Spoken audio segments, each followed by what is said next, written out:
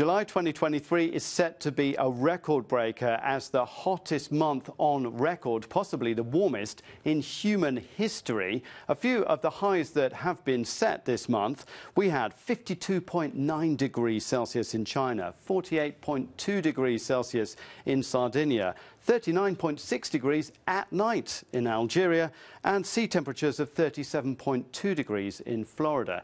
Now, we have been building up to this for some time. If we have a look at this graphic, then the black line shows daily global surface temperatures this year since January, and it's above average all year, building up to the peak that you see there in July. Now, this new all-time record is actually the culmination of the heat waves we've seen on land and also in the oceans. Here's Samantha Burgess from the Copernicus Climate Change Service. So all of this additional uh, warm air and uh, warm surface water is kind of feeding back on each other. So we're seeing record temperatures um, warmer than we've ever seen before.